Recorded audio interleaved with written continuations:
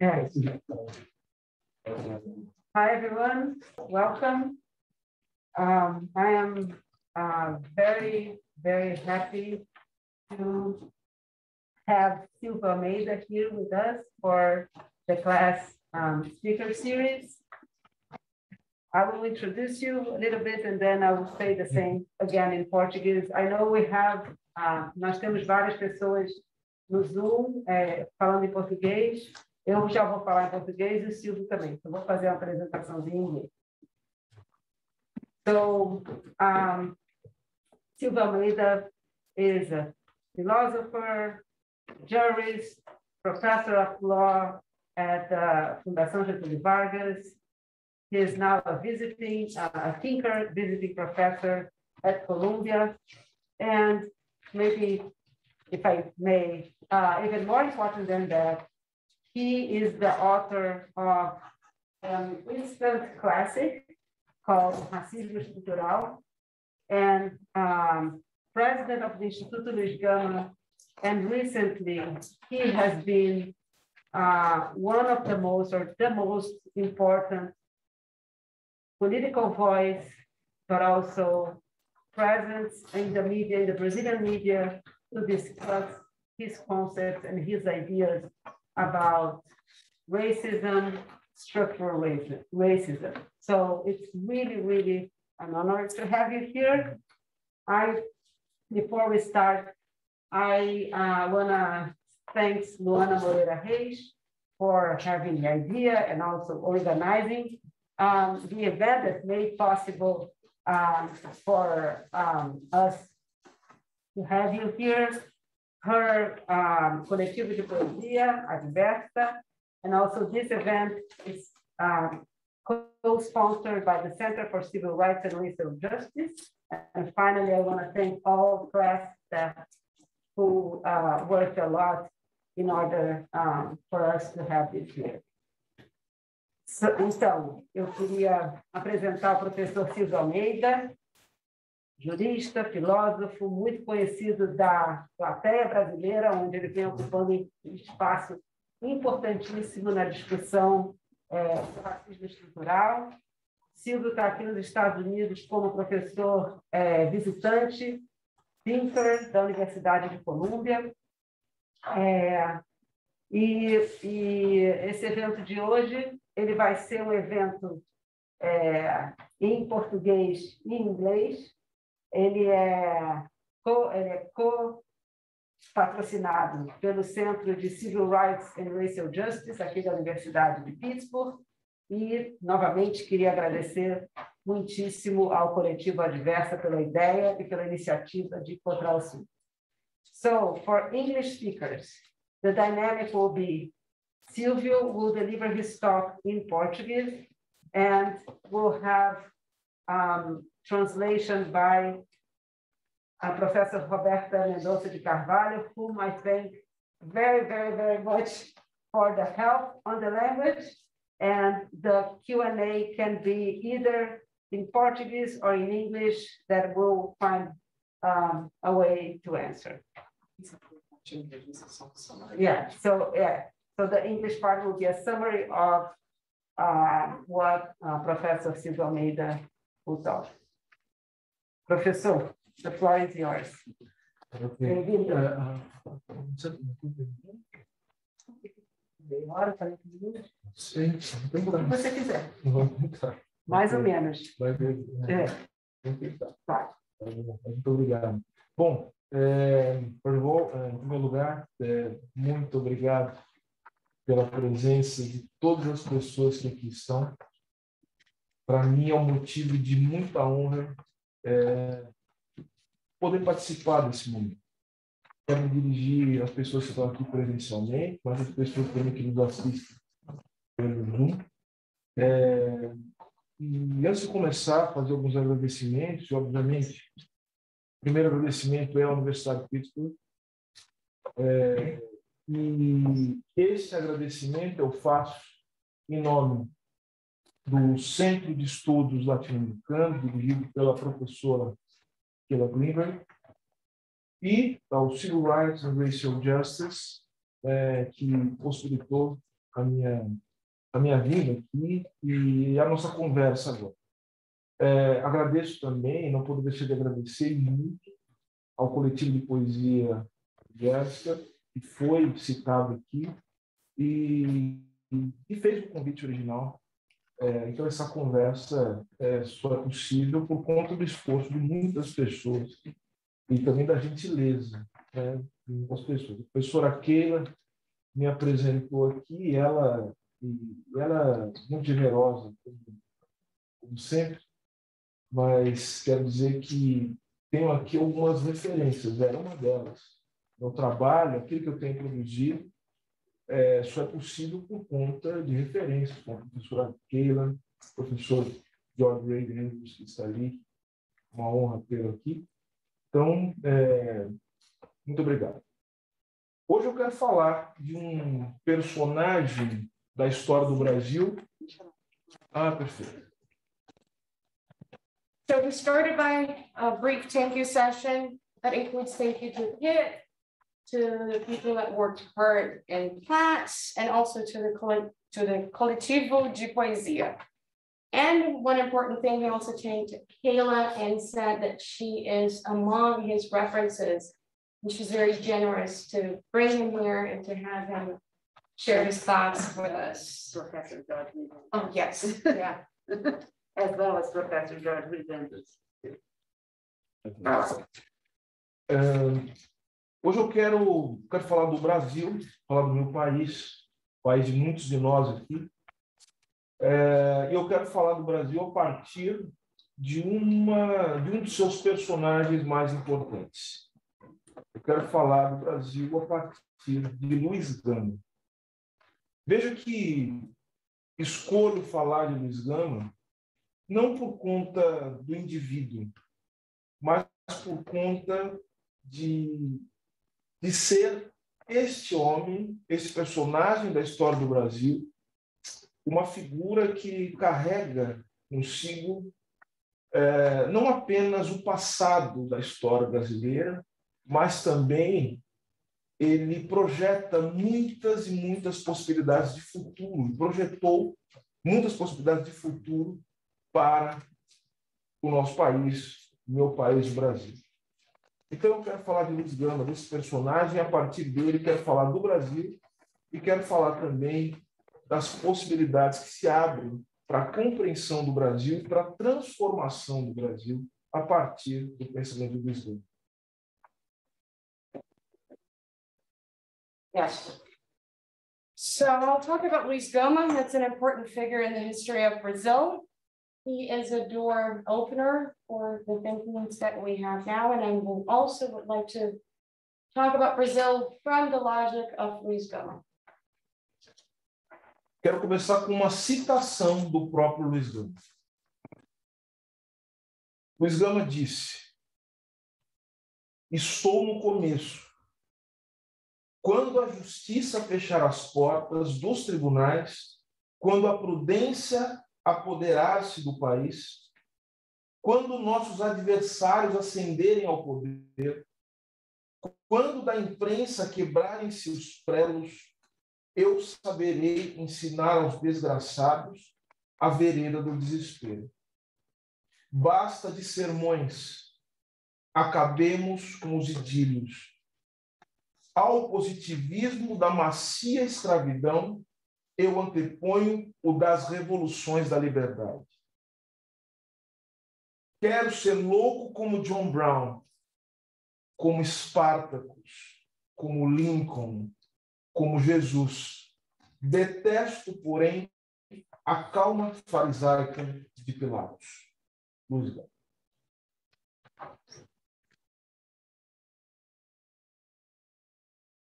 Eu destaquei aqui que Luiz Gama é um pensador do Brasil.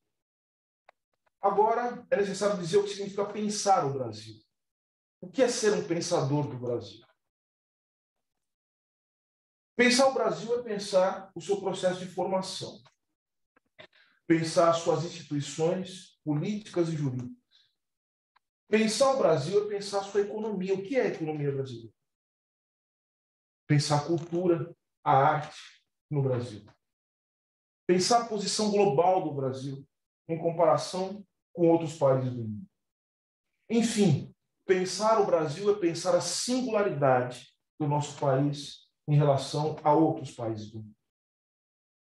Mas se nós formos ainda mais rigorosos sobre o que é pensar o Brasil, um pensador do Brasil, considero eu, que é aquele que busca estabelecer uma relação entre todos esses aspectos a que me referi agora: economia, política, cultura. Mas mais do que isso, o pensador do Brasil é aquele que, olhando para o passado do Brasil, consegue entender o presente do país, mas também abre as portas para que o futuro possa ser pensado, projetado, planejado, possa ser disputado. Um pensador do Brasil é aquele que abre disputas em relação ao sentido do país. E nesse sentido, Luiz Gama é um pensador do Brasil. So he started by citing a quote from Luiz Gama about Brazil and its political and social institutions, about culture and the arts, and the position of Brazil in the globe, in the global scale. He's also evidencing that a Brazilian thinker must think Brazil under the logic of all the elements together. Não basta dizer apenas é, que Luiz Gama é pensador do Brasil, é preciso demonstrá-lo, demonstrá-lo a partir da sua obra. Luiz Gama ele se insere no debate público brasileiro, meados do século XIX, a partir de duas grandes questões nacionais. E veja que interessante falar de questões nacionais dentro de um centro é, que se presta a estudar a partir dos Estados Unidos o que acontece no resto do mundo, porque as questões nacionais do Brasil, elas são questões da América Latina, mas são questões também que se referem a todo um movimento global. Eu costumo dizer que para a compreensão do Brasil passa é, por um olhar sobre o processo de formação da América Latina, mas passa também por entender as dimensões do movimento de constituição global da economia contemporânea e a nossa relação com a África. Isso é muito importante. Então, veja que Luiz Gama ele faz, ele se insere no debate nacional a partir de dois grandes problemas que são do Brasil, da América Latina, mas também do resto do mundo. E quais são esses dois problemas? A escravidão, a escravidão e a forma de governo republicano. So Luis Gama is a thinker of Brazil, and how does he do that? From the 19th century, he started thinking about Brazilian national issue, but also under the context of connecting with Latin America, of connecting with global issues. And then to understand Brazil, we must understand the context of Latin America and start by enumerating or going deeper into the slavery process. What's the second one? The Republic, the Republican regime. And the Republican regime. Luiz é um dos primeiros autores a dizer o seguinte: temos que abolir a escravidão. Só que abolir a escravidão não é suficiente se nós também não abolirmos o império. É necessário que haja, ao mesmo tempo, Segundo Luiz Gama, a liberdade para as pessoas escravizadas, mas um sistema político capaz de sustentar essa liberdade, e segundo sua visão, é a República. Isso está na sua expressão, na famosa expressão, um país sem reis e sem escravos. Essa era a ideia fundamental do livro. So his fundamental idea was to end slavery, but more than that, to end the empire, and more than that, to claim for the liberty for the people and the support from the system. Gama era muito mais esperto do que a gente podia imaginar. Ele não era um homem ingênuo. Ele sabia que o fim do império, a proclamação da república e o fim da escravidão não colocariam o Brasil num paraíso. Luiz Gama sabia muito bem que era necessário olhar criticamente tanto o fim da escravidão como a proclamação da República. Tanto é assim que ele foi um dos primeiros intelectuais, um dos primeiros políticos no Brasil a denunciar o fato de que muitos republicanos não tinham um compromisso tão firme com o fim da opressão contra os negros e, ao mesmo tempo, Luiz Gama entendia que talvez a República, se proclamada nas condições que o Brasil se encontrasse, se encontrava, mesmo com o fim da escravidão, iria apenas reformular a opressão contra a população negra no Brasil, fazendo com que da escravidão nós fôssemos para o racismo estrutural. E Luiz Gama estava certo. Ele acertou. So Luis Gama said that the end of the empire and slavery cannot be enough. And he recognized that in need of support, not every Republican would provide enough support for the free people to get inserted in society and And then the, the result of the abolition, if, if, if the republic's, the republic was proclaimed without support, the result of the abolition would be the beginning of structural racism. perfect. I don't think they heard me. They didn't hear me, so it's just to complete, they, they're saying that for the um, abolition to be complete, the republic should be proclaimed in a way that would um, guarantee the rights of the, of the Right, former slaves. And as he didn't envision that happened, he foresaw that the abolition of slave, slavery would be the creation of structural racism, and he was right. Ou uh,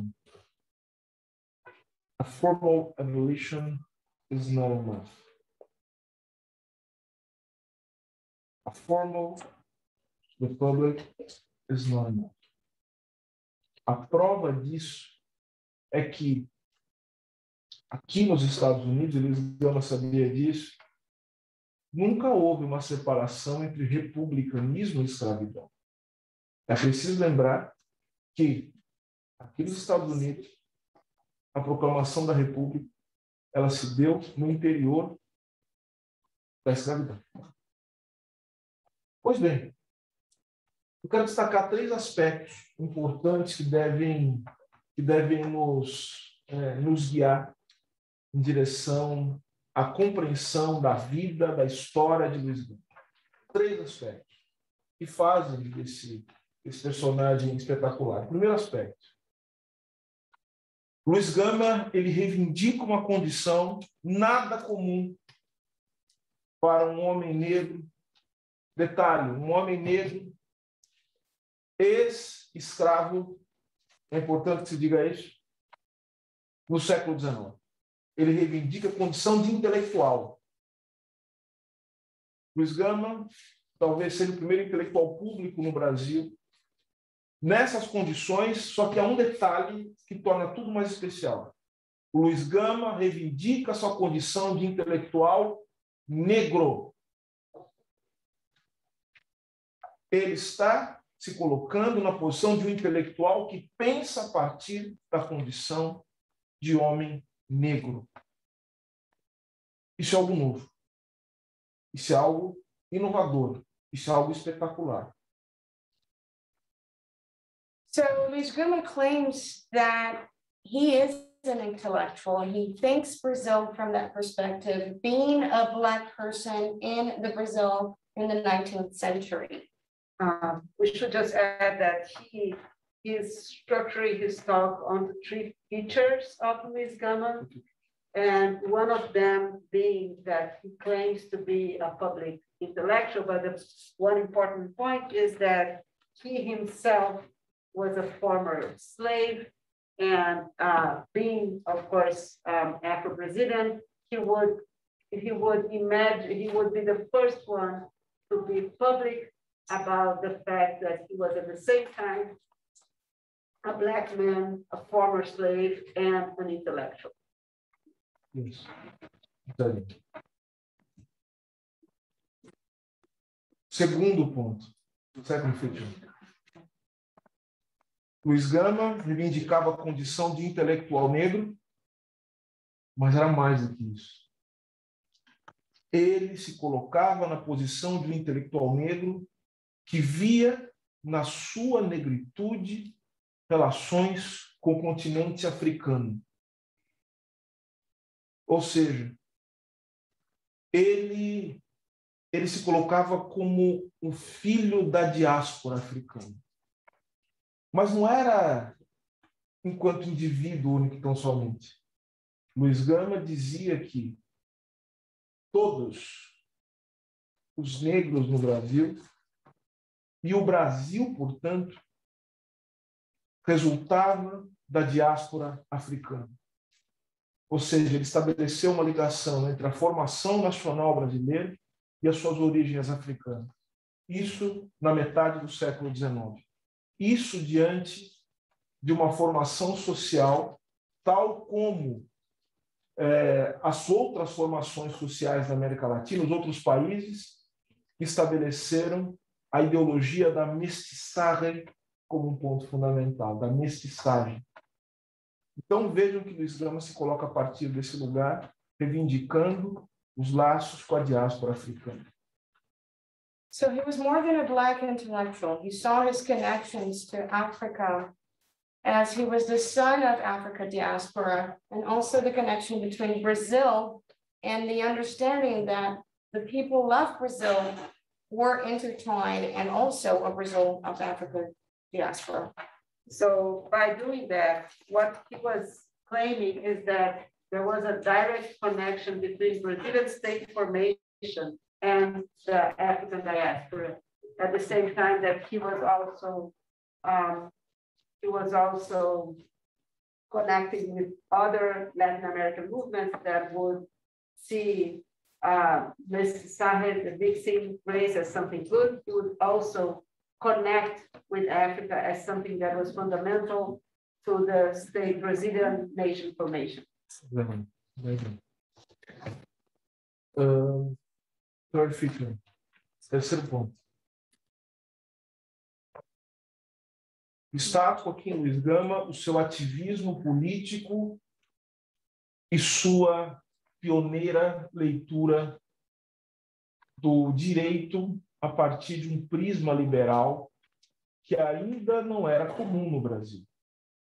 Então vejam que eu vou utilizar uma expressão para me referir a Luiz Gama, é, uma expressão é, que não é minha, mas que foi usada pelo professor Luiz Felipe de Alencastro, ao se referir a Luiz Gama, ele chama Luiz Gama de herói de dois mundos. Luiz Gama é uma figura como Orfeu né, que transita entre mundos diferentes. Luiz Gama é, tal como nas tradições de matriz africana, ele é um Exu, aquele que transita entre mundos diferentes. E por que isso? Porque Luiz Gama ele reúne uma formação tradicional de um intelectual, é, tipicamente do século XIX, principalmente no, no Brasil, um bacharel, ou seja, a ideia de um de um, de um jurista, de um homem letrado a partir do direito, mas que faz uma transição para o mundo da política de uma maneira espetacular. E ele vai introduzir no Brasil o liberalismo jurídico, afirmando a condição universal de todos os indivíduos diante da lei. Olha só. So the third feature is about Luis Gomez, a political activism, activist from a liberal prisma that was not common in Brazil at the time. He was regarded as a hero of two worlds, a kind of an Orpheus who lives in many worlds with a juridical expertise that at the time ended up introducing the concept of of Uh, legal liberalism. legal liberty. Legal liberalism. So he will be in between those two worlds that the traditional legal training of an intellectual in 19th century and the transition to the world of politics, basically by stating that all were equal under the law. So, uh, uh, ou seja, Luiz Gama ele resgata a tradição de um, de um intelectual, de um polímata, desses intelectuais que pensam que pensam é, a sociedade a partir de várias dimensões, a partir de vários de vários prismas. Ontem na apresentação que fiz, até fiz, até me lembrei de um de um termo é, que o filósofo francês Jean-Paul Sartre utilizava para se referir a si mesmo, quando ele foi perguntado é, o porquê que ele se expressava a partir de várias formas. Sartre era teatrólogo, Sartre era, era, um, era um romancista, ele era um filósofo, e perguntaram para Sartre, Sartre, afinal, por que você se expressa de tantas formas? E ele revelou, ele disse, porque o mundo é dramático. O mundo é um drama. E eu preciso, portanto, me expressar de diferentes formas para dar conta da complexidade dos problemas. Então vejam que Luiz Gama é isso. Luiz Gama foi um advogado, não um advogado comum, não um advogado qualquer. Ele foi um advogado que dominava a técnica do direito, tecnicamente o direito, mas ele também dominava a ideologia jurídica, no sentido de conhecer as discussões sobre a filosofia do direito, sobre o justnaturalismo, o direito natural, nas suas várias versões, mas ele também era um teórico do direito, quando ele sabia constituir os instrumentos técnicos necessários para atingir seus objetivos. Ele era um jurista.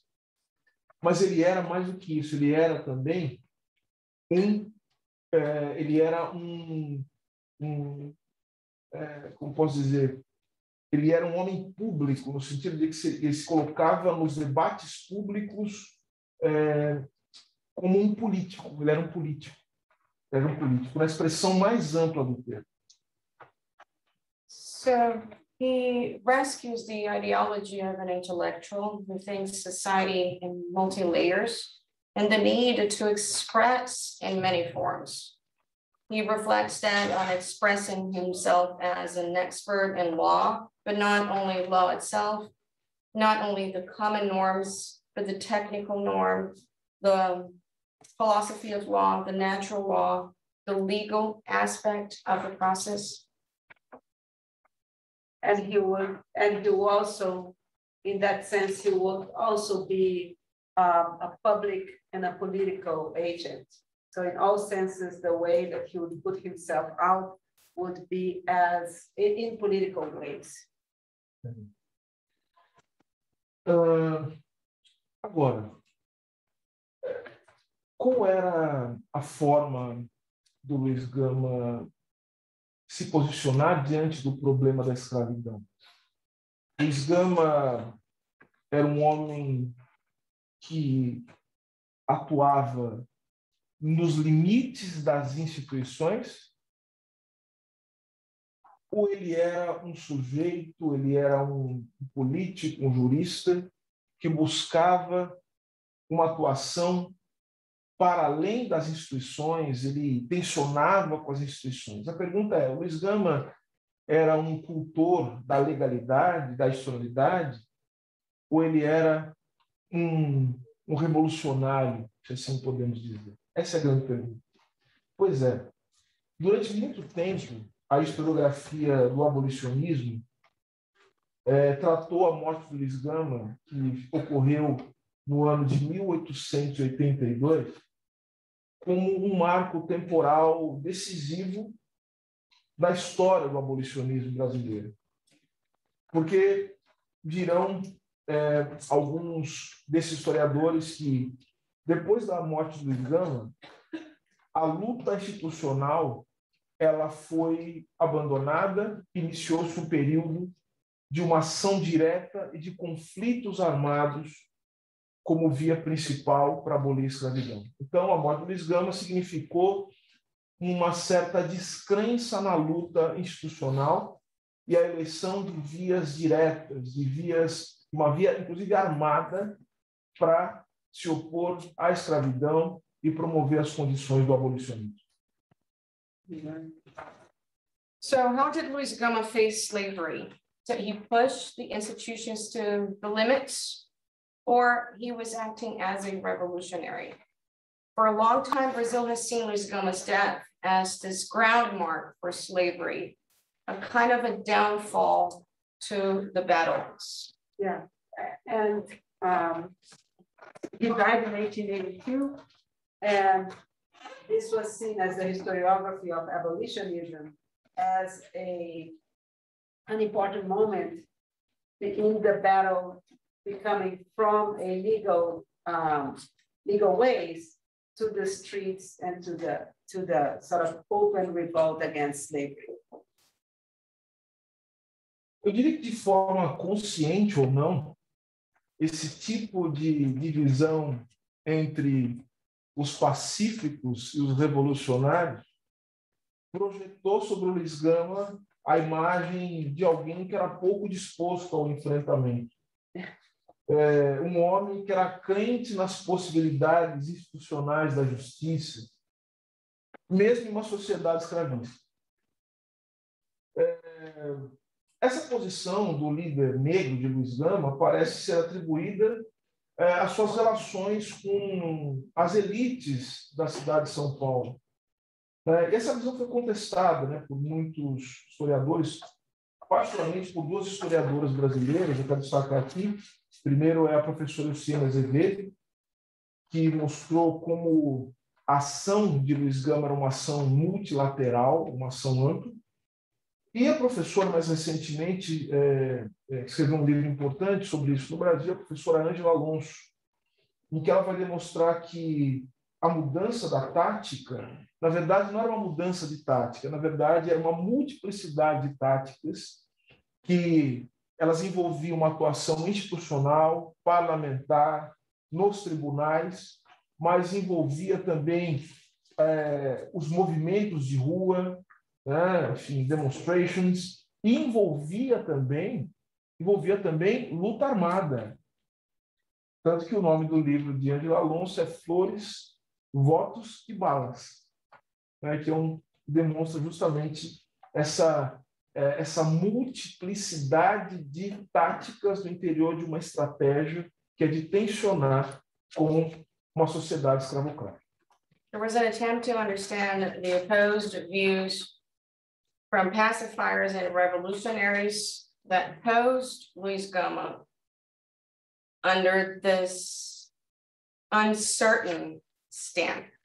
So were Luis Gama's actions multilateral or the changes and the tone and his tactics that involved even armed fight and conflict? And um, basically, he is referring to a shift in the interpretation about Luis Gama's um, Luis Gama's activities um, made by two historians, Professor Eucena Azevedo, who established that he's, he wasn't a legalist, but someone that did all sorts of activities. And more recently, Professor, Professor Angela Alonso, that's me, who was here in a debate last week uh, with me because her book, her book, Flores, Votos e Balas, was just translated into into English under the title The Last, Aboli the Last Abolition. Last abolition. The Last Abolition. And um, Angela claims that abolitionism at this point became a, a whole, a whole um, different sets of actions, including um, actions in conference, in the streets, and also taking um, arms. É importante entender que a, a sociedade, a, a, escravidão no Brasil, como foi nos Estados Unidos, não é algo, é, não, é, não é o resultado da imposição de um grupo específico em relação a toda a sociedade. Quando se fala que uma sociedade é uma sociedade escravocrata, Isso quer dizer que existe um pacto de manutenção da escravidão como uma condição existencial naquela sociedade. É um pacto de todos contra os escravos. Inclusive, é, em alguma, alguma instância da vida cotidiana, todos os cidadãos dentro de uma sociedade escravocrata passam pela escravidão como uma condição de vida, de reprodução da vida. Então, não é uma escolha, não é choice, é uma condição existencial. Então, isso, eu digo isso para dizer o seguinte: é muito difícil nós é, aderirmos à tese de que o Luiz Gama possa, de alguma forma, ser considerado um homem pacífico ou um homem pouco radical, até por conta da sua própria condição existencial. E eu quero, com isso, é, encaminhar os dois pontos que eu quero é, trazer aqui nessa, nessa, nessa nossa conversa, é, para falar um pouco sobre o Luiz Gama e para dar um fechamento é, na importância dele para a história do Brasil, para a história da América Latina, para a história da questão racial no mundo. Primeiro ponto. Bora. The abolition process is very different in Brazil and the US. So when a society is seen as a slavery society, there's a pact between its citizens. Slavery, then, it's not a choice, it's a social state. Unlike, it is very unlikely also that Luis Goma was a pacifier given what he was fighting for. So just, just um, um, going back to this idea that um, slavery is not the result of some sort of imposition by the elites to the whole society. The um, slave societies like Brazil are a the result of a of a, a pact, pact, pact, yeah, pact. for the maintenance of slavery, of the strengthening of slavery, and this is some sort of existential condition of societies like uh, the Brazilian. So he's saying all that to um, to um, claim that there's nothing that can actually um, um, tell that Luis Gama was someone pacifist or not really radical. And he's going to now show the two points if that shows how his thinking, the end of 19th century was important, not just for Brazil, but for Latin America and the world. Quero, quero destacar um primeiro ponto, está com o primeiro ponto? Eu quero que ao final, é, todos aqui, todas aqui presentes, e as pessoas também que nos assistem é, pelo Zoom, me digam se é possível é, que um homem na condição de Luiz Gama possa ter a escolha de não ser radical. The first point that I would like to ask you is that if if it's possible that a man under Luis Gomez condition, in Luis Gomez condition and position, could not have been radical. Luiz Gama nasceu na cidade de Salvador, 1830, filho de uma negra, uma mulher negra, uma mulher africana livre, chamada Luísa Maim, e de um descendente de portugueses, um homem que ele nunca quis revelar o nome.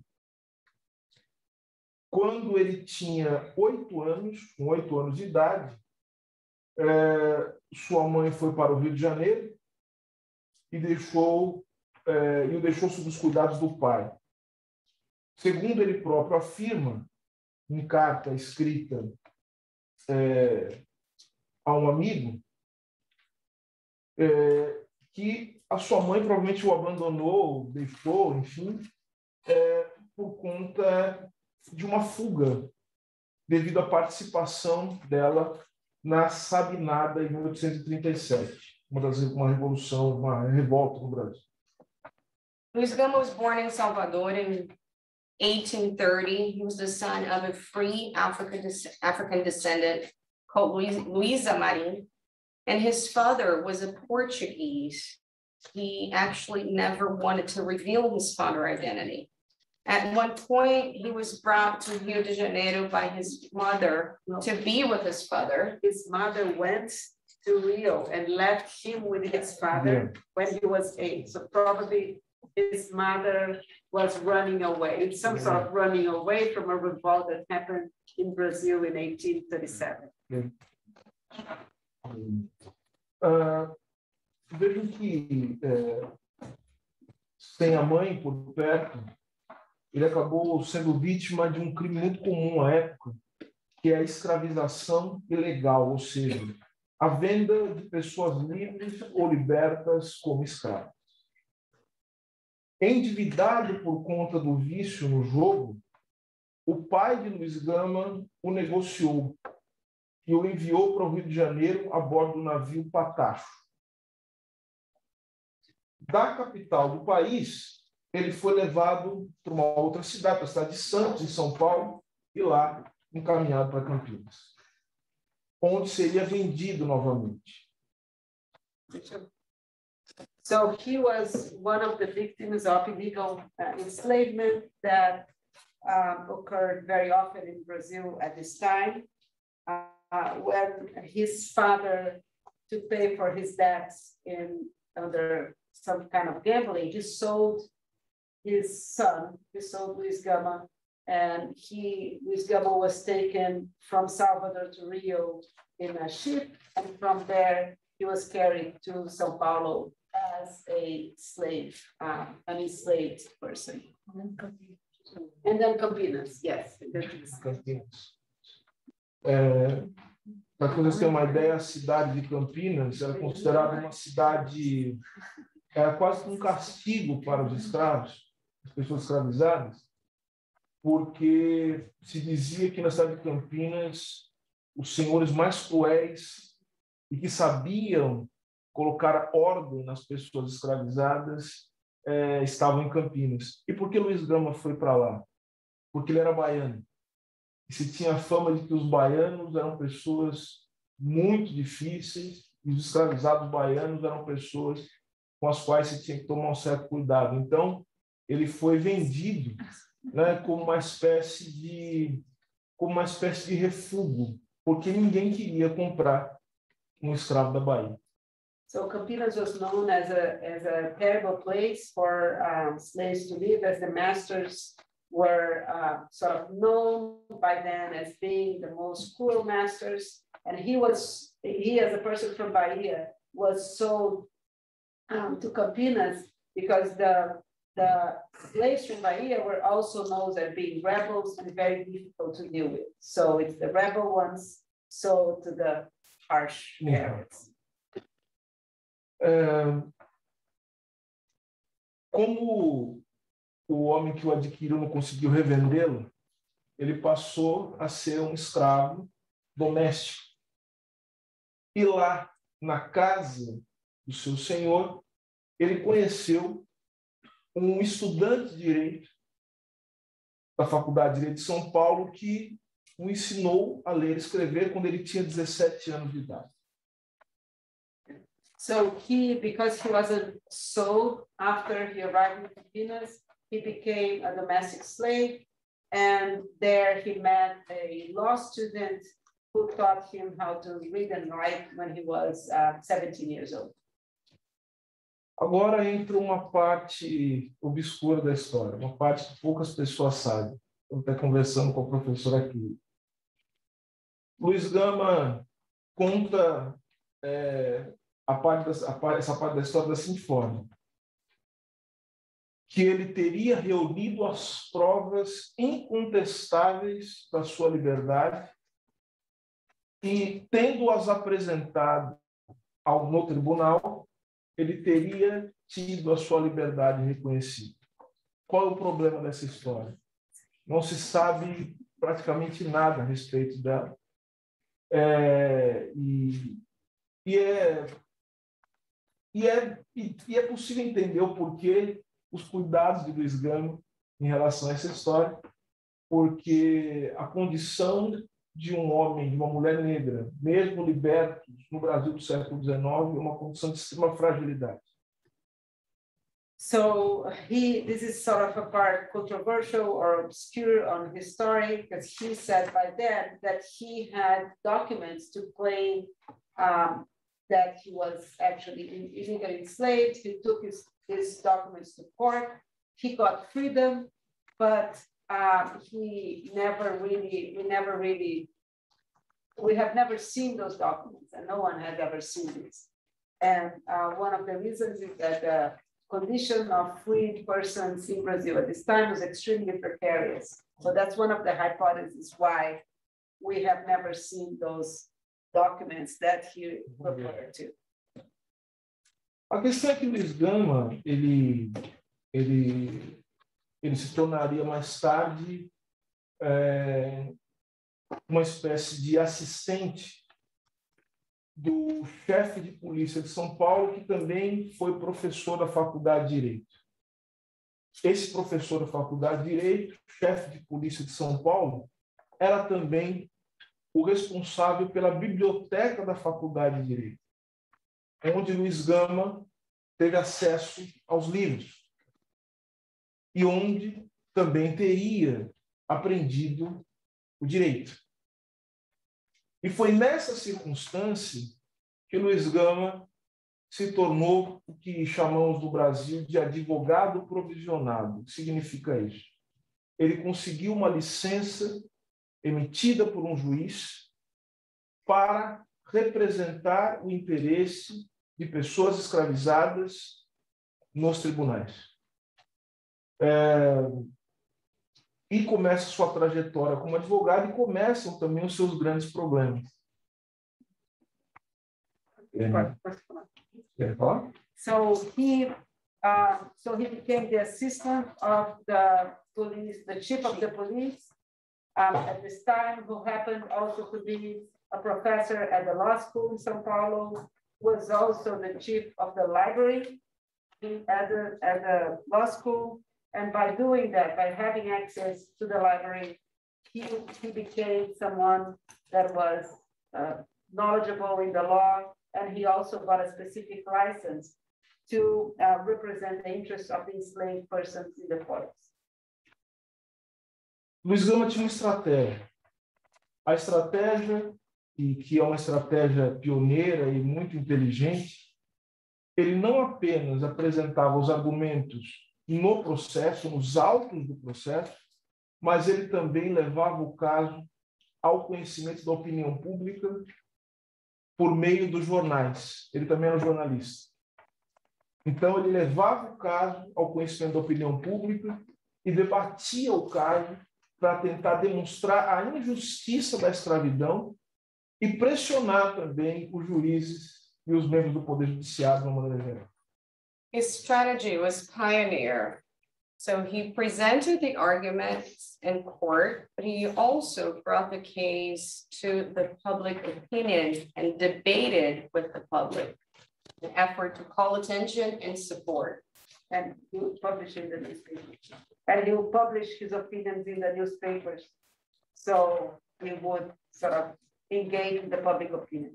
Porque ele entendeu que o debate sobre a escravidão não, não, não é um debate apenas envolve uma racionalidade jurídica, uma questão de entendimento. Eu quero repetir aqui: a escravidão é um sistema de reprodução da vida. A escravidão não é uma decisão. Toda a escravidão depende de um sistema jurídico para que ela possa ser sustentada.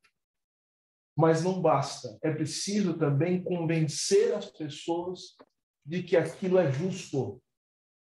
Então, Luiz Gama, ele, disse, ele queria desmontar, primeiro, a técnica que sustentava a escravidão, mas ele queria também desmontar é, a ideia de justiça que fazia com que as pessoas aceitassem que outros seres humanos pudessem ser escravizados. E aí entra um terceiro ponto. Luiz Gama era um jurista, ele era um jornalista, mas ele era também um poeta. Porque a escravidão, como sistema de produção da vida, ela cria uma racionalidade que a sustenta, ela cria um ideal de justiça que vai fazer com que esse sistema possa ser absorvido pelas consciências das pessoas, mas vai criar também um sentimento. A escravidão também é um sentimento. A, a escravidão, tal como o racismo é, é uma questão de afeto. The debate about slavery was not limited to legal conditions. Slavery is about the right to life. There's a need to convince people about that. He was altogether a law expert, a journalist, and also a poet. And slavery is about feeling, just the same way as racism is about feeling. So there was a need to convince people otherwise. Yeah, so just, just one thing more is that he wanted to convince people that the whole idea of justice connected to slavery was wrong. So it wasn't about just win in the legal argument, it's for people to feel how wrong and unjust um, slavery was, and he will do that by his poetry as well, just thinking that the idea that, would, that, that slavery as racism involves feelings, emotions, affection. A ideia era desmoralizar a escravidão, desmoralizar aqueles que sustentavam a escravidão, desmoralizar as instituições que davam abrigo para a escravidão. E por isso Luiz Gama não podia ser só um jurista, ele tinha que ser um político, ele tinha que ser um jornalista, ele tinha que ser um poeta. Porque ele precisava demonstrar a insustentabilidade de um sistema de produção da vida baseado na violência contra outras pessoas. Pois bem, é...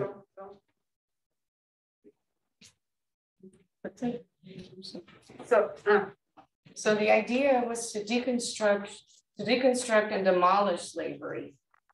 The argument.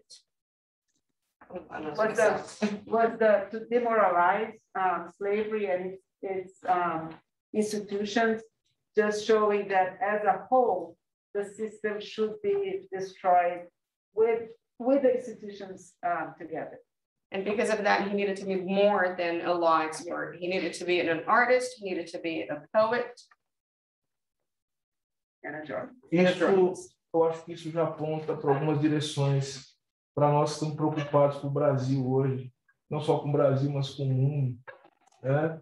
É, nós vamos precisar é, dos juristas para que eles, de alguma maneira, é, é não se levem tão a sério quando se levam. Vamos precisar dos políticos, vamos precisar dos artistas para mudar o mundo, para construir possibilidades que ainda não estão presentes. Mas é, eu, eu, quero terminar essa, é, essa. Eu falei que são dois pontos, esse último ponto, o outro vai ser mais rápido, para dizer o seguinte. É, o Luiz Gama ele se autodenominava como o Orfeu de Carapinha ou seja, o Orfeu de cabelos crespos. E é muito interessante é, essa denominação, porque além de reafirmar a sua condição de homem negro, é, eles também, ele está se colocando também como uma pessoa que transita entre mundos distintos, né? Então vejam que Orfeu é, era, segundo a mitologia, alguém capaz de transitar entre dois mundos e dos vivos e dos mortos. No caso, o Hades, local visto como o palco de sofrimentos. Quando transformado Eurídice, Orfeu, lá está, ele vai buscá-la e consegue, ao tocar sua lira, entreter todos que poderiam ameaçá-la. É interessante notar que o Hades e o caminho que leva, o que levava até lá, eram povoados por pessoas más que estavam a sofrer punição. O que nos permite levantar a hipótese de que Gama esteja construindo uma analogia entre esse lugar e o mundo dos escravos. Which kind points us to a direction that especially us that worry about Brazil, worry about the world, that we need legal experts. We need artists, we need poets, and we need journalists To change the world. to change, well, Yeah. very ambitious. So, yeah, okay. Yeah. So that was the, the first point that we need people, all kinds of people to change that world. And also the second point is reinforcing the idea that he was some sort of, this is a very, I'm taking a lot of freedom in the translation, but some sort of black Orpheus, uh, which is someone that, um, that would, um, goes back and forth between two worlds, the world of the dead, Hades as a place of suffering, that he probably would be referring to the world of slavery and the world of the ones, the living living ones. Um, thank you.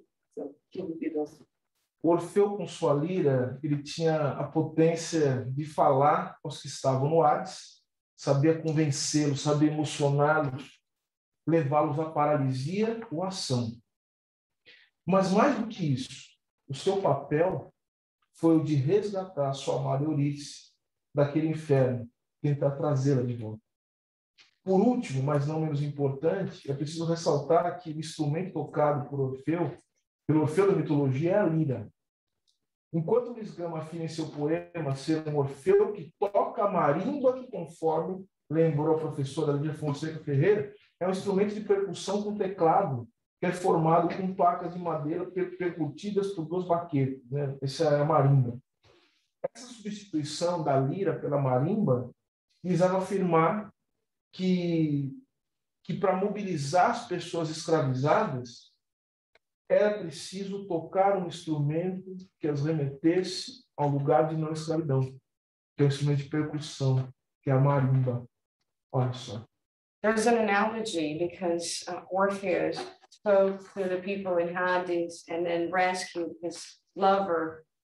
How do you say that? Eurydice. Um, by playing an, accord instrument. And in parallel, or um, Luis Gama would play the marimba in a way to mimic that ability of maybe hypnotize and convince and get to people and talk to people about things, but just using a different instrument. So by doing that, by changing the instrument in which Orpheus would play and using an instrument of percussion, he would say that to talk to the enslaved, he would have to bring something not related to slavery, but related to the sort of free past, something that will relate to their African origins as a, a place of freedom. Por fim, é,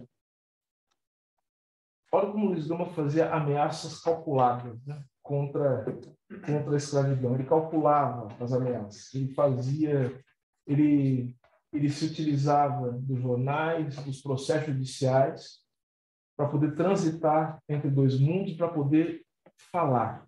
Mas vejam que a voz de Luiz Gama era a voz das pessoas escravizadas. Ele fazia da sua voz uma voz de todos aqueles que clamavam por liberdade. Então vejam que interessante esse interlíneo. Luiz Gama, ele é, ele dizia, como a, o, o texto que com o qual eu iniciei a exposição, ele saberia ensinar aos desgraçados né, o caminho do desespero.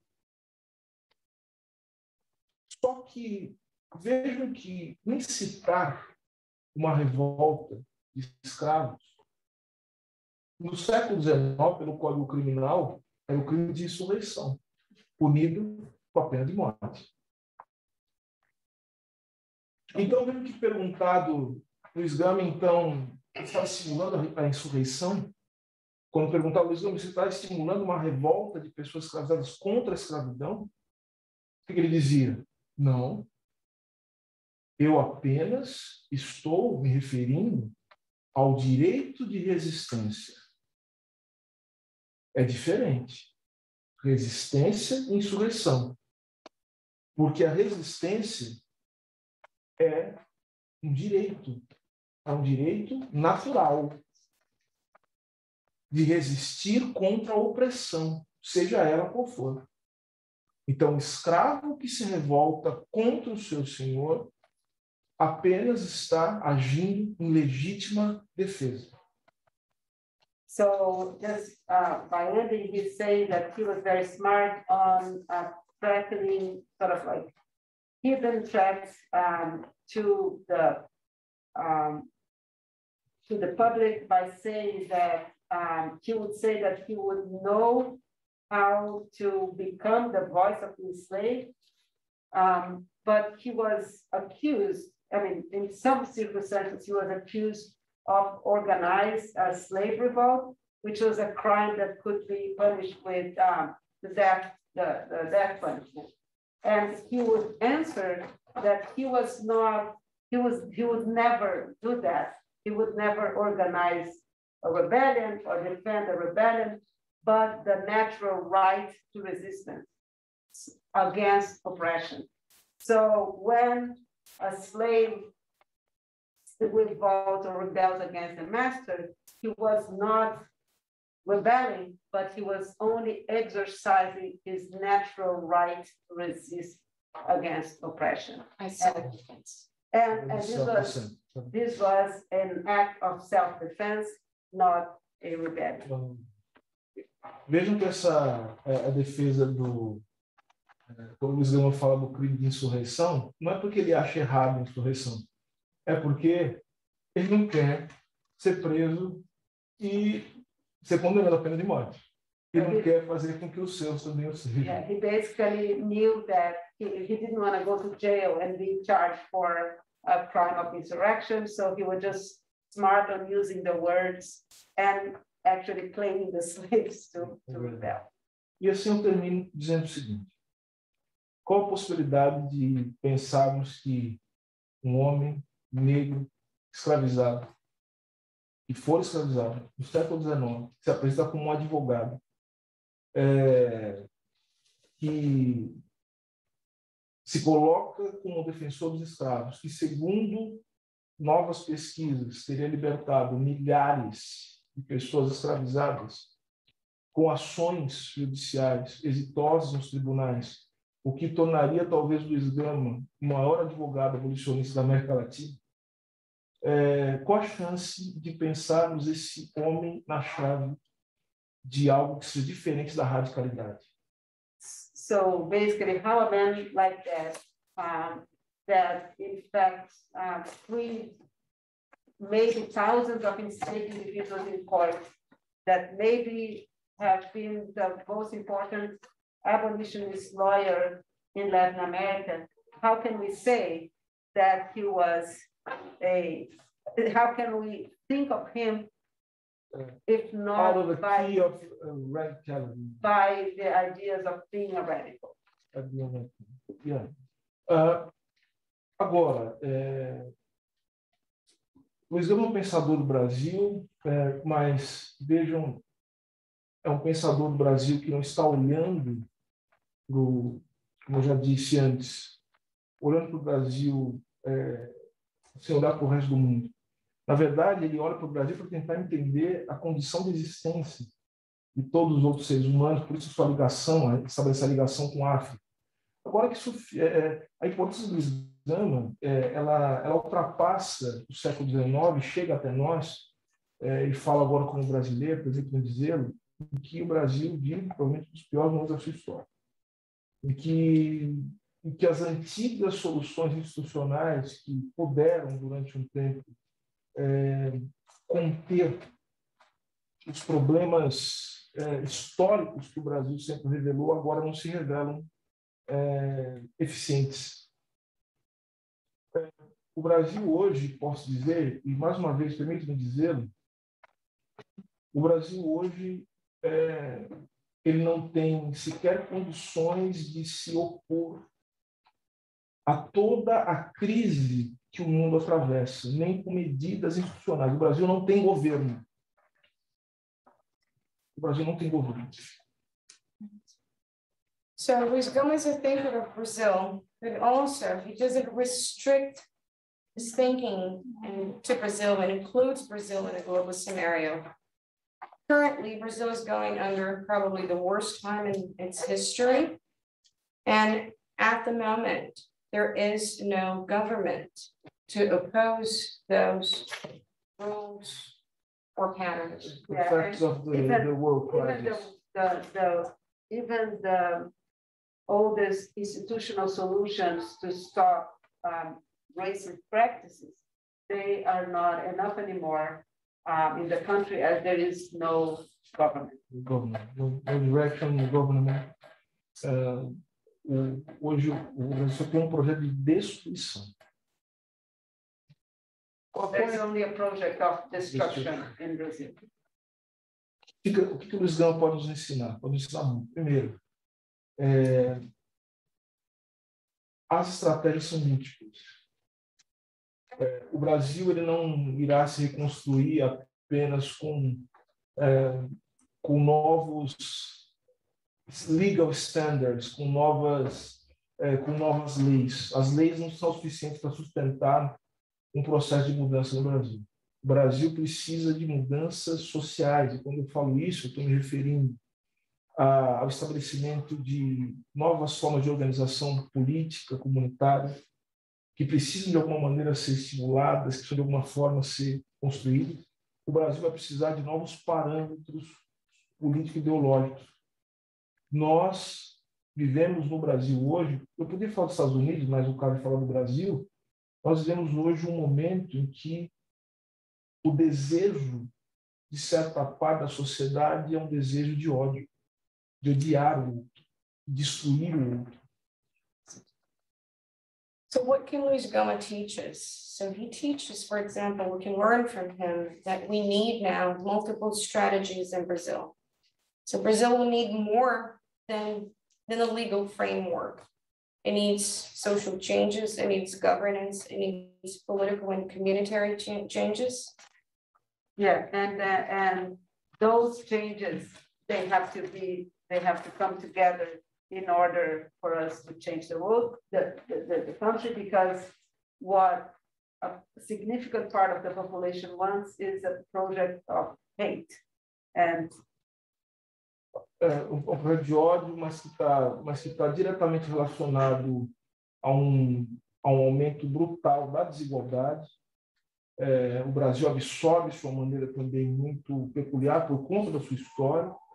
E, nesse sentido, acho que a lição de Luiz Gama que fica é, é primeiro, Luiz Gama é resultado de um tempo histórico em que homens e mulheres, tal como ele, também lutaram por uma transformação que de fato aconteceu. Luiz Gama não viu a abolição, ele morreu cinco anos antes da abolição. Mas eu acho que fica a lição fundamental para todos nós de que talvez o esforço que nós estejamos fazendo aqui hoje, em outros lugares, é um esforço que talvez nós, nós não vejamos o resultado.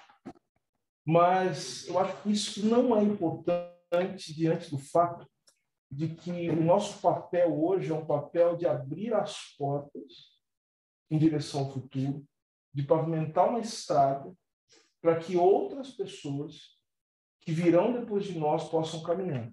Eu tenho certeza absoluta de que a única razão pela qual eu estou aqui hoje é por causa de pessoas, de homens como Luiz Gama, por causa dos meus ancestrais, por causa das pessoas que acreditaram que, apesar do horror, da desgraça do tempo presente, era possível sim projetar possibilidades. Se nós, diante da situação que estamos hoje, é, achamos que o mundo é, não nos dá possibilidades, imagine, portanto, no momento de escravidão. Imagine os meus ancestrais, essas muitas pessoas aqui vieram acorrentadas no navio. Né? Não fosse essa possibilidade de pensar o futuro, projetar o futuro a partir da realidade para além, para um tempo, um tempo além do presente, eu acho que eu não estaria aqui. Então, nós vamos ter que projetar essas possibilidades. E aí nós vamos ter que pensar a vida de forma dramática. Vamos ter que pensar a vida nas suas múltiplas formações. Vamos ter que ser poetas, vamos ter que ser intelectuais de uma maneira geral, fazer teoria. Vamos ter que fazer teoria, isso é importante dizer. Eu, eu, eu preciso dizer isso. Nós vamos precisar de filósofo, vamos precisar de sociólogo, vamos precisar de gente fazendo teoria. A teoria é fundamental para que nós possamos construir possibilidades que ainda não se apresentaram. Nós temos que fazer teoria. Sem teoria não tem prática transformadora. E toda teoria ela tem que visar uma prática transformadora. Que nos permita olhar a realidade de maneira diferente. The hate project undergoing in Brazil is deeply connected and related to inequality.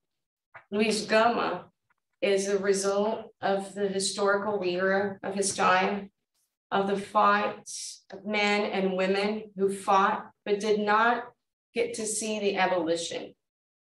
Perhaps we will not see the results, but we should keep fighting now for the future. See, yeah, So he would say that we need actions, sort of radical actions as Ms. Gama did, but um, also he was saying that he's only here today um, because of persons like Luis Gama, because of Luis Gama's actions in 19th century. The only reason why persons like him and like so many others here in this room are now able to be here and to discuss those topics and to try to fight for a better future, even if we don't see them. It's because of actions like um, uh, for people like Luis Gama. And if we think that now it's difficult, if we think that now it's hard, remember the ones who come, who came enslaved in slave ships, and they were still able to fight and they were still able to envision a future. So we should be able to do that too, even if we don't live to see that future coming. we need theoretical ground, we need philosophers, we need sociologists, we need thinkers to think in a reality, to come up with solutions. Agora a parte mais fácil de traduzir. Muito obrigado.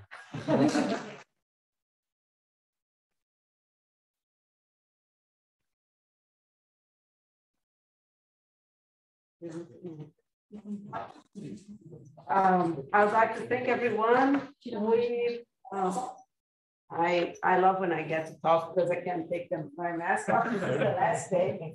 Um, we can, hopefully, yes.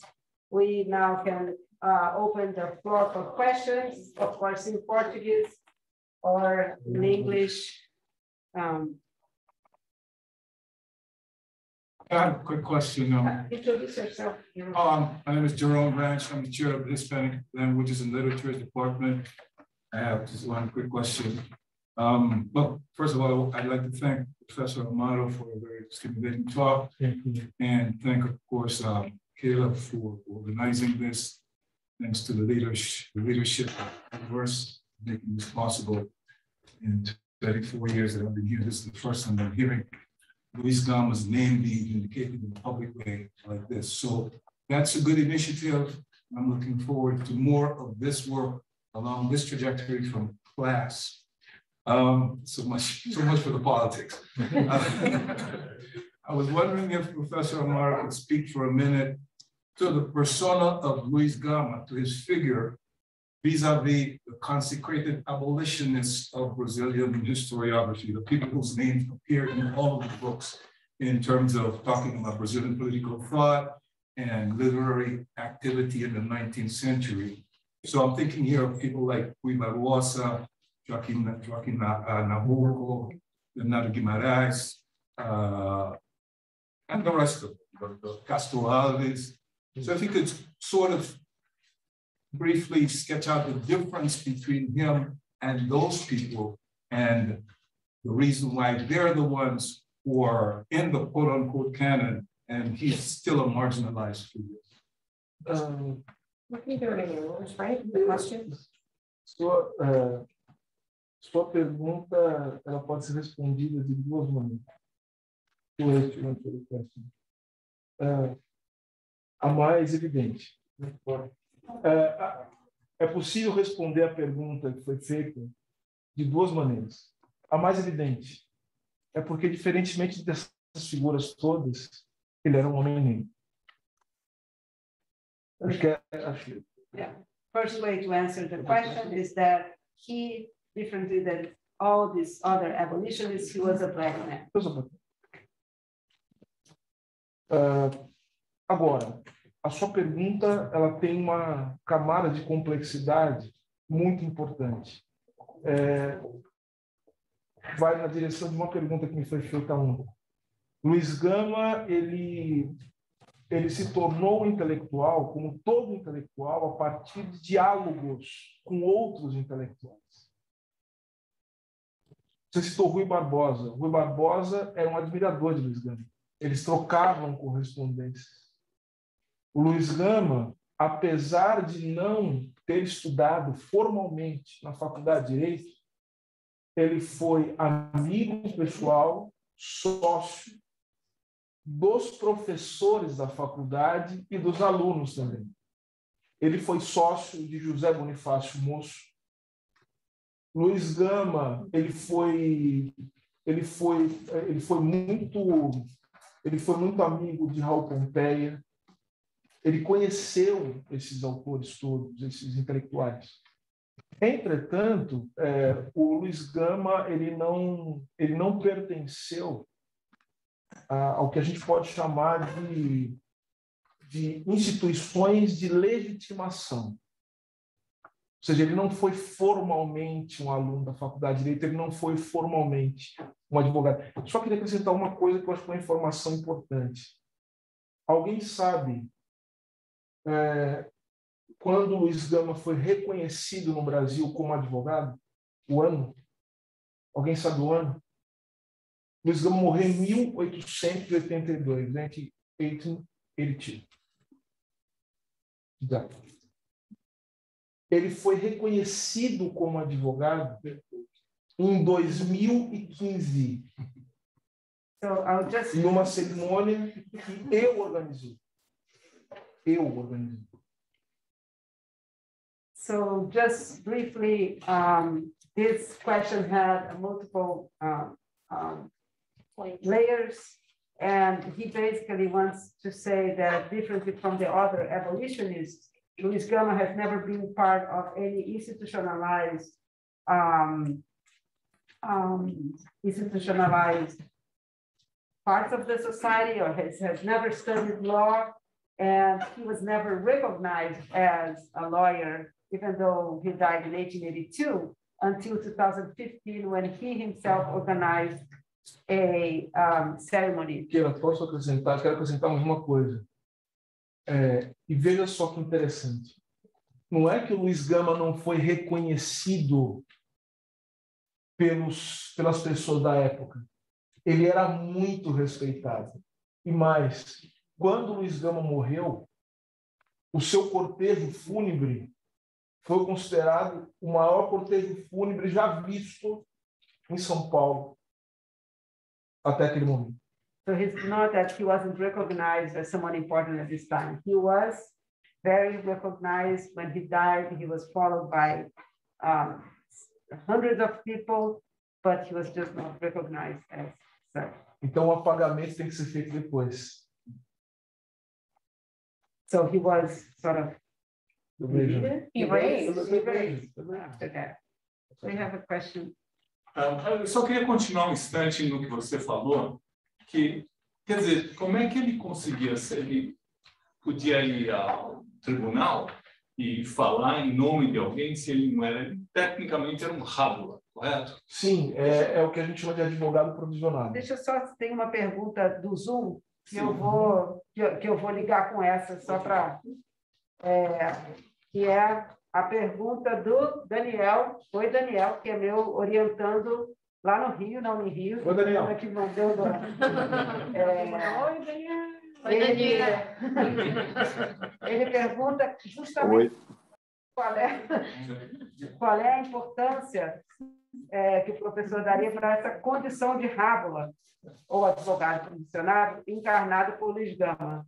Ele pergunta isso porque ele sabe que o termo também endossava o termo rábano. Hum. Endossa o estigma social, apesar de ter sido. Eu tenho uma história ótima para contar sobre isso. E ainda existe hoje esse tipo de provisionado? É, É uma Não, coisa, não. ou seja, é um Brasil que não existe mais. É um Brasil eu que não, é um. Brasil que não existe mais. Eu sou, eu me considero, entre aspas, um rábula, porque eu tive por muitos anos uma namorada advogada que eu entendia tudo e estava muito envolvido. Ou seja, aprendi lei entre Como é seu nome, querido? Flávio.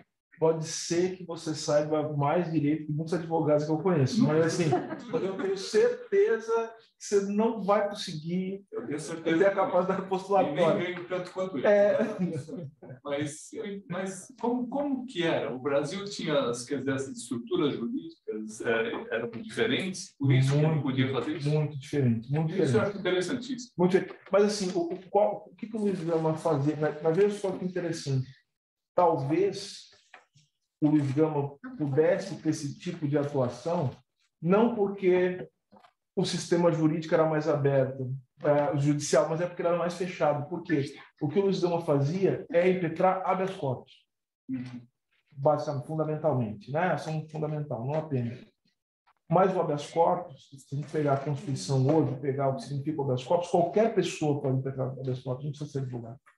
Percebe, então, que ele precisava de uma autorização judicial para que ele pudesse representar pessoas no tribunal, mesmo impetrando habeas corpus. Hoje, se alguém daqui, qualquer pessoa, né, tiver alguma restrição ao seu direito de ir e vir, qualquer pessoa pode impetrar habeas corpus em nome da pessoa, mesmo não sendo advogado. Percebe que é um outro país, é uma outra forma de, de ver. Agora, em relação à pergunta do Daniel. Oi, Daniel. É. É, a pergunta do Daniel é a seguinte: é, sem dúvida, né? Por, por isso que eu falei de instituições de legitimação. Você passar pela faculdade de direito. Ah, e eu estou falando de um período que não tinha o AB, tá? Porque o AB foi criado nos anos 30. Né? Então, veja, não, não Ordem tinha do de advogado do- Brasil em Bar Association. Então, hum, é, não existia. Então, você passar pela faculdade não era apenas você. O direito não era apenas um lugar de aprimoramento técnico. O direito, enquanto técnica, é uma produção dos anos 30 para frente, quando você precisa construir o Estado Nacional. Porque até então, o bacharelismo é uma espécie de legitimação de uma condição, de uma elite intelectual que vai administrar o Brasil. É a partir dos anos 30 que você começa a ter o bacharel como aquele que vai construir uma organização jurídico-política para sustentar um Estado nacional, uma sociedade industrial. Antes disso você não tem. Agora a pergunta Daniel, história rapidinho. É, por conta das reivindicações do movimento negro no Brasil, em São Paulo, né, um movimento que começou, inclusive, com o apoio de professores da Faculdade de Direito, eles colocaram um quadro do Luiz Gama na Faculdade de Direito.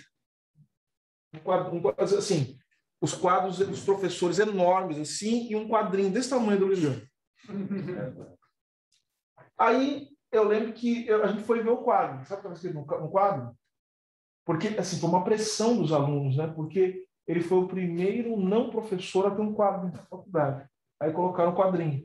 Aí colocaram assim, Luiz Gama, é, é, é, Luiz Gama, abolicionista, rábula. Assim, bem grande, assim. Eu não estou brincando, bem grande. Catolã, rábula.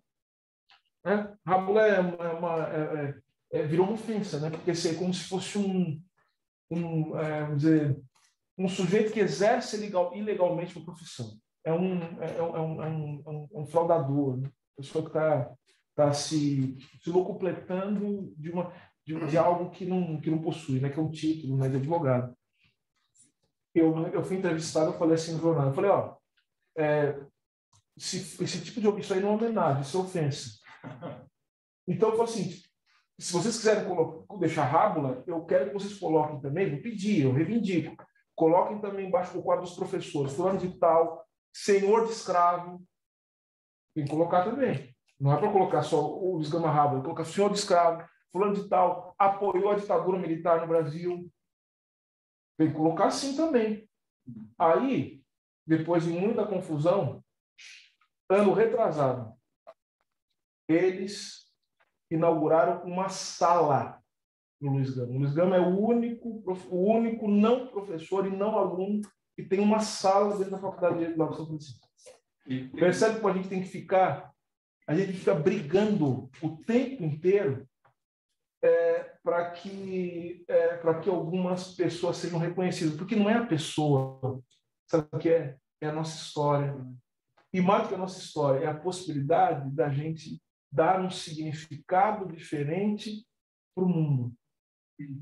É para é alguém olhar e falar assim, eu, eu, por exemplo, agora eu, eu, eu, me lembro, eu, eu fundei o Instituto, eu sou presidente do Instituto Luiz Gama no Brasil. Sabe quando que eu resolvi fundar o Instituto? Quando ele li um artigo no jornal da Folha de São Paulo, onde eu sou colunista, do professor Fábio Conde Comparato falando do Luiz Gama. Isso foi em 2007. Detalhe, eu me formei em Direito em 2000 e eu nunca tinha ouvido falar de Gama. Aí eu li o artigo, eu fiquei transtornado, que eu não dormia. Assim, eu fiquei, falei, não é possível que existia uma pessoa assim. Então, aí fui ler sobre o Gama. Aí eu falei, pensei, peraí, que o Rui Barbosa aqui? Não. não. Então eu comecei, então eu comecei nas minhas aulas a falar a verdade. Qual é a verdade? Aí os alunos perguntavam, professor, professor, né? Uh, what's the greatest lawyer in Brazil? Eu falei, você não sabe? Ele, Rui Barbosa? Eu falei, não, Luiz Gama. É é o maior advogado da história do Brasil. E pegou. Todo, hoje você perguntar para os meus alunos, pelo menos, para muita gente, qual é advogado da história do Brasil? Ah, mas que pergunta, Luiz Gama, claro.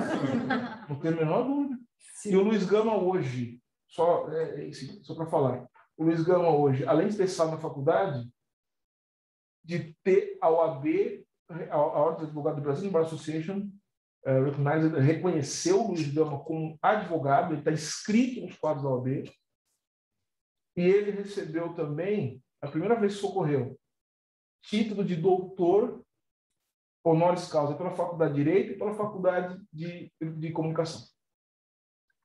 Maravilha. Eu vou, tem duas perguntas, eu vou também ler uma outra pergunta aqui do, do Zoom, que é também da minha aluna, Ana Paula Buque. Oi, Ana Paula. Oi, Ana Paula. Felicíssima. Eu não estou vendo ninguém, mas pelo menos a gente está aqui junto. É, Ana Paula, ela quer refletir sobre uma das suas frases, ela quer dizer que ela diz, Gama era um homem que transitava entre dois mundos, e vejo que hoje também temos que ter profissionais que transitem entre o mundo dos teóricos mas também entre as pessoas comuns, especialmente através dos profissionais de educação básica. Uhum. As estradas abertas só fazem sentido se houver quem caminhe por elas. Como aproximar esses dois mundos? Pergunto porque vemos reformas na educação que visam uma distância cada vez maior entre a teoria e a prática. Obrigada, Ana Paula. Então, eu não sei se a gente passa direto para as outras duas, é, Luana e João. Vem muito rápido. Só, professor, essa, essa licença que ele tinha para advogar era só em questões relacionadas à, escra à escravidão ou em outros temas também, ainda que ele não advogasse sobre outros temas? Eu fiquei curioso para saber. Eu, eu, acho que essa, eu acho que essa licença era. Eu acho que essa licença era uma licença para atuar especificamente em determinados casos. Né? Então, eu acho que ele pedia licença para tomar um caso juiz. Tanto que ele teve uma, ele teve uma, isso eu não tenho certeza, tá? Estou te falando, mas tanto que ele teve um entreveiro muito violento. Olha que interessante, com um juiz que virou nome de rua em São Paulo, olha só, que é o, é, é o, é, conselheiro é, é, é, Rego, né? Rego Fleitas, é isso? Pode falar que a gente vai acreditar. É. Não, não, mas deixa eu ver. Mas é isso que eu falar, queria só ter, já que você falou. É, é, é, é o Rego Freitas. Tem várias cidades no Brasil tem a rua Luiz Gama. Luiz Gama. Um monte de. Aliás, é o que. De onde então, saiu. Na, na verdade, não sei se tem tantas assim. Ah, eu, eu descobri que tem Paulo, uma. Tem uma em São Paulo. Tem em Campinas, tem Santos. Uh, São Paulo eu sei que é no Campo Si. Como Si, é. Exatamente. Você sabe uma coisa, só para seguir e seguir na pergunta, eu não sei se você sabe, mas eu ainda não entendi por quê. O Museu Histórico Nacional é, tinha uma sala que se chamava Sala Luiz Gama. Você sabia? Não sabia, não sabia. A sala, Luiz, é, a sala era uma sala que tinha, na época ainda do Gustavo Barroso, na década de 40, eles chamaram aquela sala de Luiz Gama. Eu acho que talvez pela mesma razão que tenham colocado alguns nomes, essa sala tinha objetos que remetiam à escravidão, É, e aí, depois, com o tempo, a sala teve é uma sala, uma sala pequenininha, assim, a sala teve, foi ter outro nome. É, hoje não tem nada na sala, a não ser, olha a ironia, uma estátua do Dom Pedro II. É, e agora, até a gente está fazendo, a gente, é um grupo que eu faço parte, a gente está fazendo uma intervenção no Museu Histórico, reescrevendo a legenda da estátua e recolocando o Luiz Gama de, de volta, referência. Mas por que, que ele, aquela sala, naquela época, foi chamada de Luiz Gama, que talvez tenha a ver com a, com a questão da rua? Assim, a gente não, não conseguiu entender. Dizer, em que momento o Luiz Gama virou uma personagem, um personagem que tinha, eu, assim, eu, minha hipótese é que é dessa verve legalista, né, que seria, como ele era conhecido, como justamente esse abolicionista não radical que trabalhava dentro do sistema. Pode ser. Pode ser. Não sei. É... É, mas eu não sei, o pessoal gosta de sistema, né? gosta de gente que O pessoal, assim, isso aí ele é uma estátua gigantesca para ele, se ele fosse certinho. Eu acho, enfim. É. É, então, o que, que, pode ser também? que estamos testando hipóteses, né? É. Pode ser também que ele ele tenha virado uma figura muito estranha, né? Quando você o compara com com a tradição dos advogados né, que se formaram né, a partir dessa. É, ali, ali no começo do século XX, como Rui Barbosa, por exemplo. Né? Enfim, eu acho que é um. É, eu acho que ele é uma, uma figura muito inusitada, e principalmente depois dos anos 30, quando, você, quando a advocacia ela passa né, a ser, a ser parte do projeto de Estado, né, o Luiz Gama não frequentou faculdade de Direito, ele impetrava habeas corpus, era uma, era uma, ele era uma coisa muito esquisita, né? é, para ser admitido né, pela institucionalidade brasileira. Né? Eu acho, e, e, veja só, até mesmo a condição dele como artista, né, como poeta romântico. Né? Se não me engano, foi o Alfredo Bose como é que coloca uhum. ele né, como, como parte do, do, do, do, dos autores do romantismo, né, do momento romântico no Brasil. Assim, é, isso é algo que precisa se estudar. Né? Você já estamos orientando para estudar. Tem um monte aí, não sei. É, Ana Paula, né? Daniel, Ana Paula, Ana tá Paula, tá vendo? É. Os meus também estiverem vendo aí, já estão sabendo. Já. Luana queria fazer uma pergunta sim, sim. depois eu acho que gente... Foi muito tá. bom que o Silvio acabou de mencionar a poesia, que a minha pergunta é justamente nessa perspectiva relacionada a algo que você falou que uh, quando você traz a, a figura do, do Sartre e essa é, a questão do mundo dramático, dessa complexidade, da multiplicidade de formas de expressão, e que você enfatiza que a gente precisa de pessoas em diversas frontes, né, de pensar sociólogos, filósofos, tudo isso, mas a gente vê que, por exemplo, é, na academia ou em diversas outras formas de instituições, existe uma valorização diferenciada dessas diferentes áreas, né? Por exemplo, a gente vê hoje a sua discussão sobre uh, Luiz Gama enquanto advogado e tem um peso e um interesse muito maior do que a figura do Luiz Gama enquanto poeta, né? de pensar o Luiz Gama poeta. E pensar dessa essa teoria transformadora também que você fala, é, falou muito bem sobre pensar uma teoria que leva à prática, né? que leva a ações é, transformadoras. E interessante ver que foi um grupo de poesia que trouxe você hoje aqui para a universidade para falar sobre Luiz Gama, né? Foi a poesia que trouxe Luiz Gama, advogado, hoje, né? e a discussão sobre poesia ontem com o nosso coletivo. E a gente vê, enquanto coletivo de poesia, muitas vezes um descaso institucional em relação ao apoio a atividades relacionadas à poesia. Quando diz assim, gente, vamos trazer uma poeta negra brasileira para falar aqui na Universidade de Poesia. Nobody has time for that. Mas aí a gente pensa na Audre Lorde, quando ela fala que a poesia não é luxo. Né? E eu acho que para Luiz Gama é, traz essa conexão entre poesia e política, essa arte política, essa arte revolucionária muito forte. Então, eu queria que você comentasse um pouco sobre isso, é, né? É, eu, eu, eu acho que não existe nenhuma revolução sem arte, né? sem artista. Não existe possibilidade. É o que eu falei, agora falando sobre o Luiz Gama, né? O Luiz Gama, ele tem, né, e foi até um, os dois pontos da minha fala de ontem, né? O Luiz Gama, ele, ele tratava, por isso ele é muito especial, né? O Luiz Gama tratava o direito como arte e a arte como, como é, a busca do, do reino do justo. Né? Ou seja, o Luiz Gama, eh, quando eu falo direito como arte, eu estou me, me referindo aqui a uma dimensão de pensar o direito como justiça. Né? Então, o, o Luiz Gama, ele, é, quando ele. Estou me lembrando aqui do, do item 1.1.1 do digesto, né? que é o direito é a arte do bom e do justo. Né? Arbonis ec iuri, né? ou seja, direito é a arte do bom e do justo. Arte no sentido de, de ser, ser aquilo que os românticos, os alemães falavam de, da busca do original, né? do original, daquilo que, daquilo que ainda não havia sido feito. Né? Ou seja, a ideia de que essa ideia do direito, essa ideia de justiça, a ideia de produzir condições que ainda não se apresentaram. Então, a gente tem que ter essa criatividade. Ao mesmo tempo, a arte também, a arte como uma busca do justo, é a criação de dimensões, do ponto de vista estético, né? que nos apresentem um mundo novo, né? que ainda não aconteceu. Eu estava até comentando ontem, é o debate, por exemplo, que você tem ali no final do começo do século século XVII, né, por da Revolução Russa, né, que é o debate lá do, do suprematismo, né, é, que é do Kandinsky, que é o debate com o Malevich, né, questão do, do expressionismo, né, com o realismo. Né?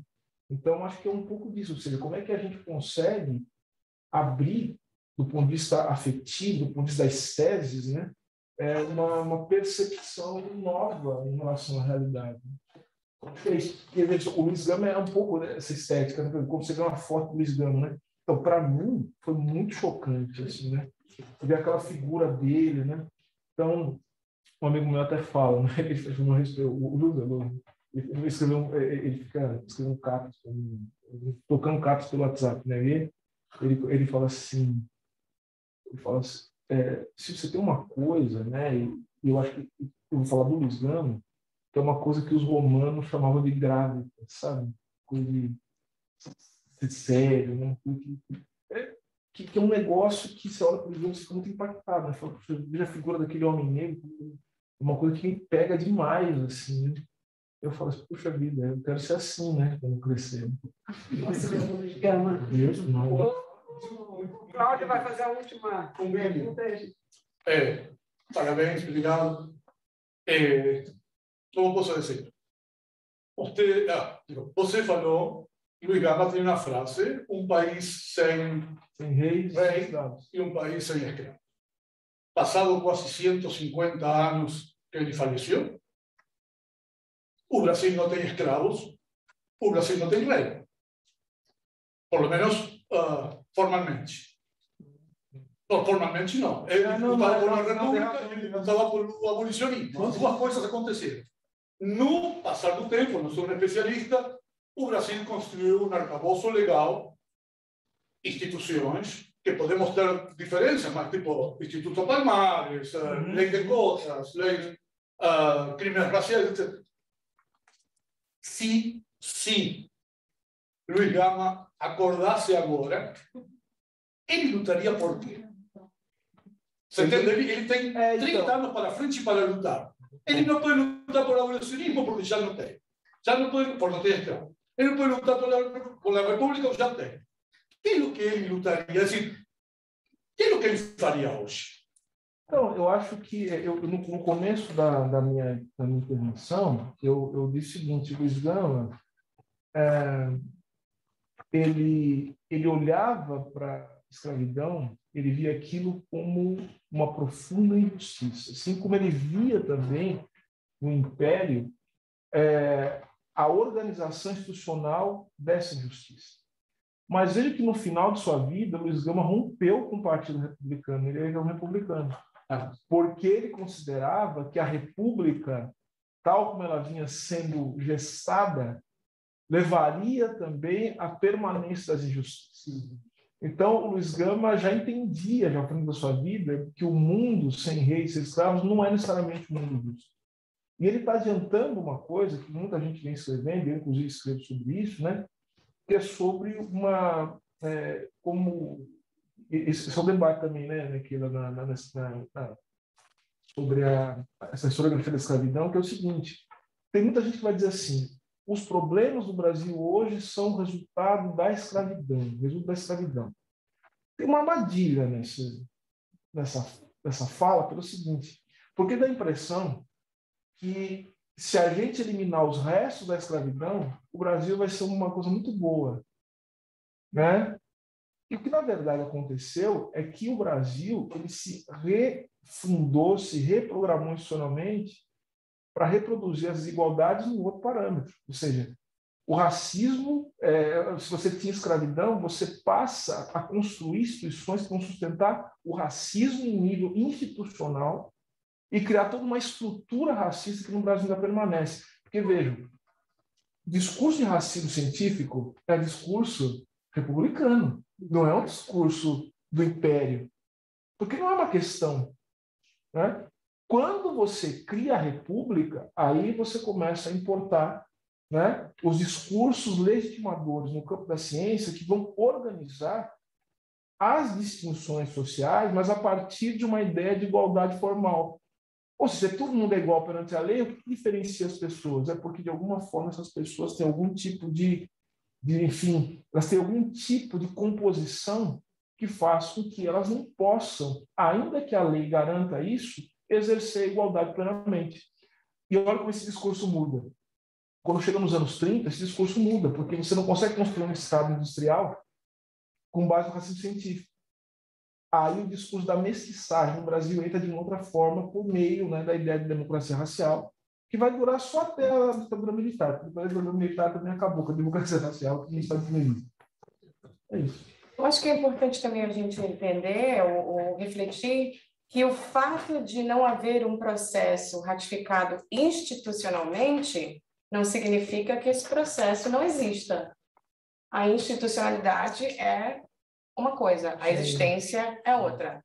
Não, é perfeito, mas é, é, e aí eu só acrescentaria na sua, na sua excelente observação o seguinte: é, por isso é difícil a gente, é, a gente entender. É, tem uma frase do, do Franz Fanon que eu acho lapidar.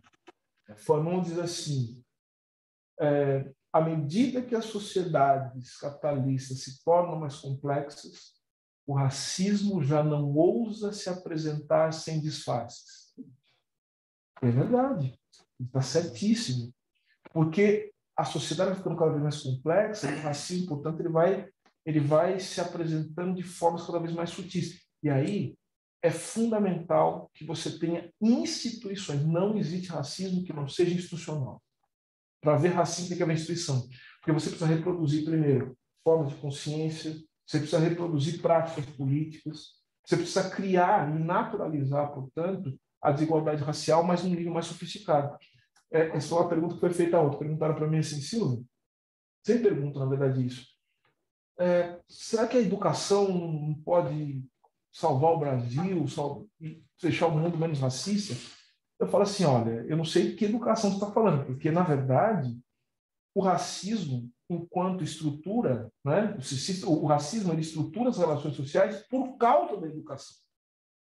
É a educação que torna possível, a educação que nós temos, né, desse mundo é que torna possível que a gente naturalizar a desigualdade racial. Então, você tem o direito é a mesma coisa não existe racismo sem direito. É o direito que vai classificar os sujeitos. Eu não estou nem falando de Jim Crow, eu não estou falando só de apartheid. Eu estou falando de como o direito ele vai, ao mesmo tempo, criando né, formas de construção da subjetividade relacional que ou não atacam ou então é, fixam a desigualdade racial. É, então, assim, tem, é, é, existe uma contradição com a instituição, mas existe também um funcionamento institucional que faz com que o racismo se, se, se manifeste. Então, percebe a dificuldade? A gente no interior da universidade, é, eu sou professor universitário, sou, sou é, uma coisa muito louca a respeito do Brasil. É, a oportunidade que eu tive mais alunos negros na minha vida, mais alunos negros na, na sala de aula, foi quando eu dei aula nos Estados Unidos. É, dá para acreditar negócio desse? É inacreditável. É porque eu dou aula em duas escolas no Brasil, que são escolas de elite. Sim, né? Escola de elite, escola de branco. É, então, é, é, muito, muito curioso, né? O, os Estados Unidos é um país muito mais, assim, que as relações sociais elas são muito mais marcadas, só que o Brasil tem ambientes institucionais em que praticamente não tem pessoas negras. É impressionante. Eu, eu, eu não sei, eu não conheço outro, é, pelo menos até então, é, até, eu, eu sou doutor desde 2011, né? E, eu não sei quem é doutor em filosofia do direito pela USP antes de mim. Não faço ideia. 2011. Pode ter, mas eu não sei quem. Bom, é, queria agradecer muitíssimo de novo, Silvio, a sua presença. Queria agradecer muitíssimo a Roberta Mendonça de Carvalho, né, que improvisou a tradução.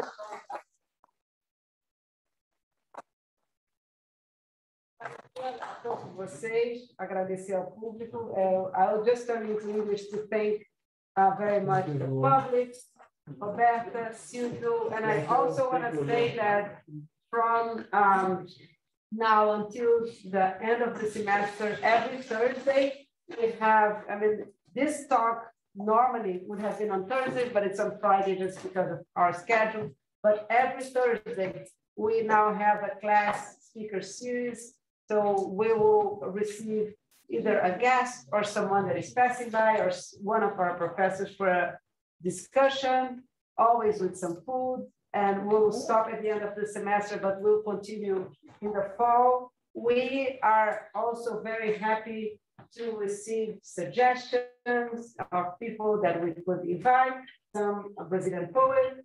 Um, and um, so we, we very much hope that the center uh, becomes a center for discussion, collaboration, exchange of ideas, and so we can change the future, you know, eventually.